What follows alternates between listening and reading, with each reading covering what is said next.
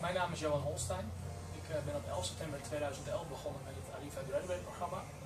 Ik ben inmiddels uh, één jaar klaar met het programma en ben nu werkzaam als analist voor de regio Noord, Zuidwest, Friesland en Lelystad.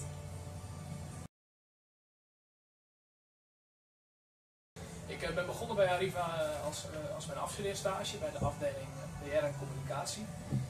gedurende deze stage ben ik erachter gekomen dat Arriva ook een managementprogramma had. Hier had ik toen de tijd hele positieve verhalen over gehoord en heb ik besloten om erop te solliciteren. Uh, tijdens mijn periode dat ik werkte voor de afdeling commercie heb ik meegewerkt aan verschillende tenders van het openbaar vervoer. Uh, een van deze tenders was het openbaar vervoer voor de regio Noord-Zuidwest-Friesland.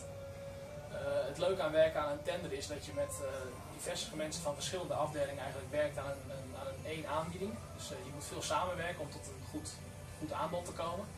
Uh, ik was mede verantwoordelijk voor het marketinggedeelte. en het, het leukste van de, dat project was is dat we deze aanbieding ook hebben gewonnen. En uiteindelijk ben ik ook gaan werken voor deze regio. Tijdens het programma was je ook onderdeel van een internationale groep. het leuke hiervan is dat je, dat je ook internationale projecten had. op dit moment werk ik dus specifiek voor een regio en heb ik ook landelijke projecten. Maar wat ik nog wel zou missen en iets waar, wat, wat me heel erg leuk zou lijken, is om weer internationale projecten